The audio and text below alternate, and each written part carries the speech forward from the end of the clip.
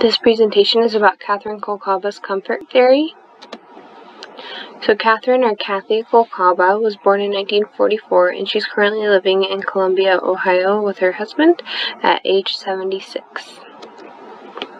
So in 1965, she earned her registered nurse, and then she worked part-time in med-surg, long-term care, home health, and as the head nurse on a dementia unit. And on that dementia unit is where she started to kind of develop the comfort theory and realize that comfort is so important as to um, pay attention to as nurses. She then grad she then worked on her MSN and graduated with her MSN with a specialty in gerontology in 1987. After that, she joined the faculty at the University of Akron in the College of Nursing and she was teaching gerontology. In 1991, she developed the comfort theory, um, and they developed it over 10 years, and she did it with her husband, who is a philosopher. In 1999, she received her doctorate and um, submitted the comfort theory as her dissertation.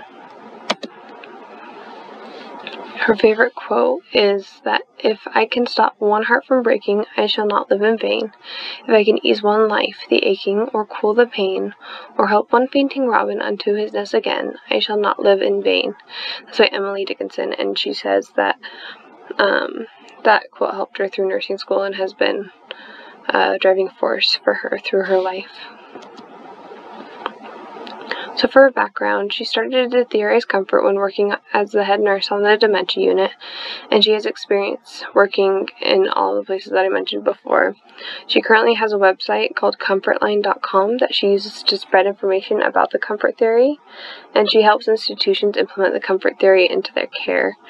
Um, all of her tools are free on her website, and she just wants to help um, spread the comfort theory as much as she can and to develop it as much as possible. A quote from her is My vision is comfort care for all, which includes patients first and foremost, their families, staff, institutions, including hospitals, nursing homes, and agencies, student nurses, and communities. I fervently believe that nurses want to provide comfort care. It is the reason we choose nursing as our life's work. So, now to dive into the comfort theory.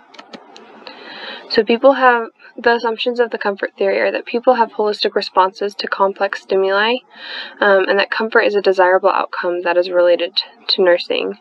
And then also that people wish to meet or have their comfort needs met. Um, so basically, people want to be comfortable. We need to keep comfort um, as part of our nursing, and people will react whenever they're stimulated in a holistic manner.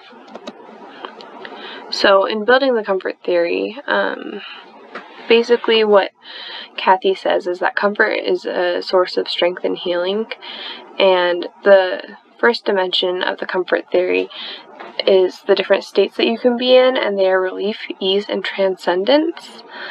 So, relief um, is basically where you have relief from needs, and it's necessary to um, return to a former function or have a peaceful death. Um, it's defined as a state as sorry, ease is defined as a state of um, con- calm or contentment. So you have to go through relief to get to ease, and the same thing is kind of this kind of happens with transcendence. So after you're in the state of calm or contentment, you can go into transcendence, which is where um, you're able to be free of the pain and like function above it. And that's the goal for us to have all of our patients at. The second dimension relates to the different holistic sections in which comfort can be applied. So, physical, getting somebody a warm blanket, psycho spiritual, um, listening to them, talking to them. And these are just very brief explanations. Um, and then social, uh, getting somebody's family to see them, or like with COVID right now, getting them to FaceTime, or even um, like getting some financial support if the patient needs it, or getting them those resources. And then environment, keeping your patient's room clean, keeping it at a comfortable temperature, a good light for them, things like that. So the comfort theory is basically so needs arise because of a negative stimulus. And then comfort is given as a positive stimulus to decrease the tension that comes from the negative stimulus. And then this will lead to health seeking behaviors or a peaceful death depending on their situation, like if somebody's a hospice patient versus a surgical patient. Um, and so basically, if somebody's comfortable, they're going to be more likely to be um, healthier, basically. And then they're more likely to demonstrate a desire to live. So if somebody's in a ton of pain, they're going to be like, okay, as terrible as this is, just like, kill me now, I can't handle it anymore. So if we can make them comfortable, they'll be more likely to want to take care of themselves and live longer because if you're comfortable, you want to be around longer to experience that comfort. So here's a picture of the comfort theory. So basically there is a negative stimulus situation, that gray box. At it with this. So then we're going to want to address the healthcare needs of the patient and their family and use comfort interventions as well as nursing interventions.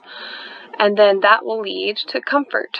So comfort is, as we said, physical, psycho-spiritual, environmental, and social.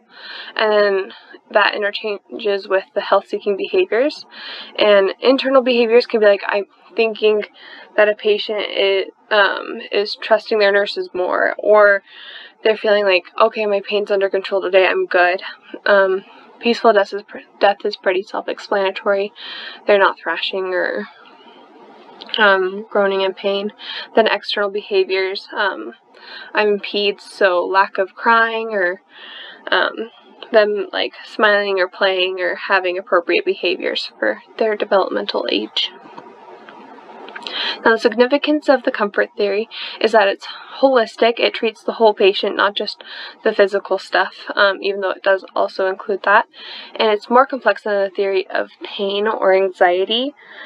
And I believe that that was um, Potter whose theory it was, and so she just kind of built on that, saying that comfort includes those things, but it's also so much more.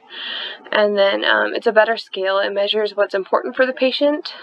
So some patients, yes, it will be pain. Some patients, it will be seeing their loved ones.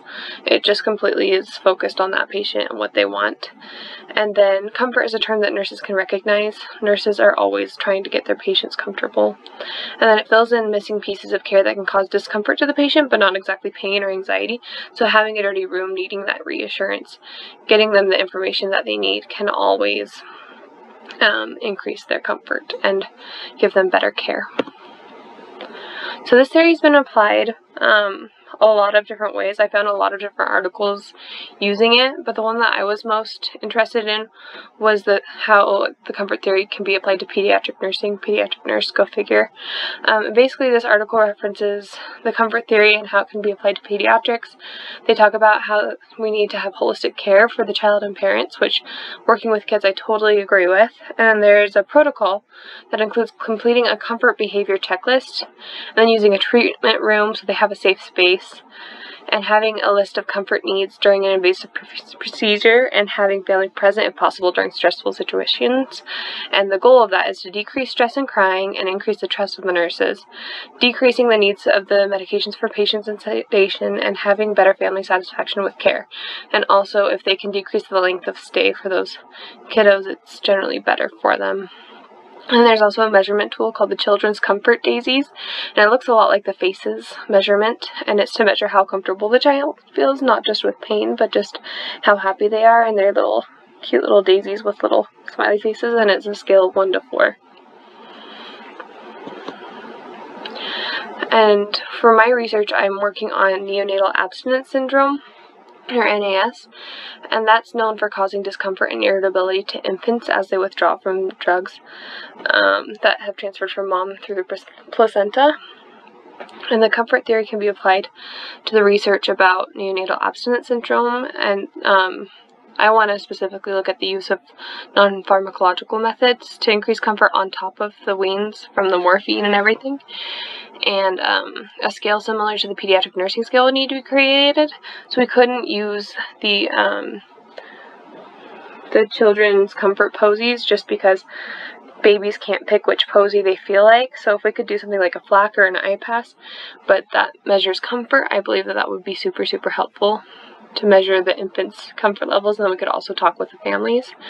And then this theory is actually really ideal because of its attention to decreasing stressors and increasing comfort of whoever it's taking care of. So when a baby is being weaned, um, relief from discomfort is generally the ideal goal in keeping them as calm as we can and not irritable. Then just to finish up, this is an article about Kathy and she, um, it's a story about her when she was working as a nurse and she had a patient who didn't want to eat and she talked to her patient and the patient basically said that the food was just sounded terrible and it looked gross and she didn't want to eat it but she would really like a bowl of cream of wheat and so Kolcaba went and got it and she handed it to the patient and the patient said that that totally jump started their recovery and um, that like that comfort care was what she really needed in that time and she really appreciated that Kolcaba took the time to do that. And then here are my references. Thank you.